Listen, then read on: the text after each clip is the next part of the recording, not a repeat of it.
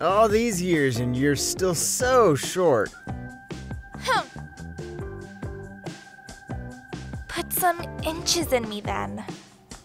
What?